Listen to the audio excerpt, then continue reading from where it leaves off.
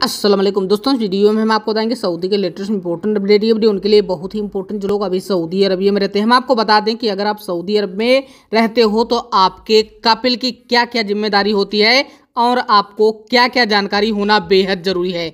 अगर आप सऊदी अरब में जाते हो या जाना चाहते हो तो ये वीडियो आप ज़रूर देखिए, क्योंकि सऊदी अरब में आपको, आपका कपिल बेवकूफ़ बना सकता है। इसलिए आपको कुछ जानकारी होना बेहद ज़रूरी है। दोस्तों, सऊदी अरब में अगर आप रहते हो या जाना चाहते हो, आपका कपिल बेवकूफ़ न बनाए इसलिए आपको कुछ जानकारी भी होना चाहिए।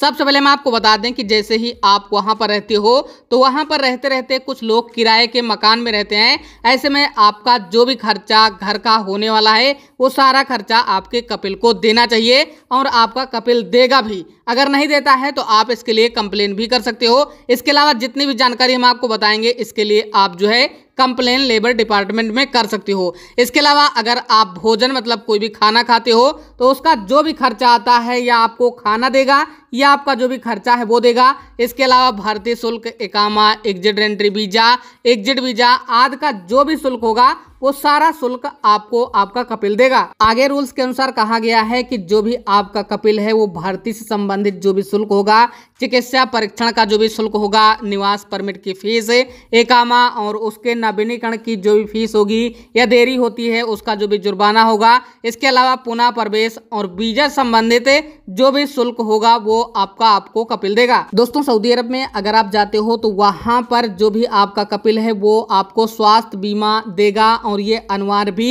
सऊदी गवर्नमेंट की तरफ़ से कर दिया गया। इसके अलावा हम आपको बता दें कि जो भी श्रमिक सऊदी अरब में जाते हैं, उनके उपचार के लिए जो भी ज़रूरी चीज़ें हैं वो भी आपका कपिल आपको बना कर देगा। इसके अलावा जैसे ही सऊदी अरब में आप जाते हो तो वहाँ पर आपको चिकित्सा बीमा प्राप्त करना चाहिए ताकि आपको कोई भी दिक्कत ना हो। दोस्तों, आगे की जानकारी आपके लिए बेहद इंपॉर्टेंट है, क्योंकि आपके लाइफ टाइम काम आने वाली है। आपको किन किन बिना पर आपका कपिल टिकट देगा और किन किन बिना पर आपको कपिल, आपका टिकट नहीं देगा। क्योंकि ऐसी स्थिति से लोग गुजर चुके हैं और काफ़ी लोगों को दिक्कतों का सामना भी करना पड़ा है। मतलब यह है कि अगर आप सऊदी अरब में नए नए जाते हो तो वहाँ पर अगर आपने दो साल, तीन साल पूरा कर लिया है तो आपका, आपको कपिल पूरी तरह से टिकट देगा। कोई दिक्कत नहीं। लेकिन अगर आप परीक्षा अवधि के दौरान अनुबंध आपका समाप्त कर दिया जाता है, इसके अलावा चिकित्सा परीक्षण में आप विफल हो जाते हो मतलब जो भी आपका मेडिकल है, वो एक तरह से खराब होता है अच्छा नहीं होता है, आप पास नहीं होते हो तो ऐसे में आपको टिकट देना पड़ सकता है। इसलिए आपको सावधान रहने की ज़रूरत है। जब भी आप नए नए जाएँगे और ऐसी दिक्कतों से गुजरना होगा तो आपको काफ़ी ज़्यादा दिक्कतों का सामना करना पड़ेगा। इसलिए आपको सावधान रहना है, इंडिया से या किसी भी देश से जा रहे हो तो आप अपना मेडिकल पूरी तरह से फिट करवा के ही जाएँ, ताकि आपको इस समस्या से दूर रहना पड़े।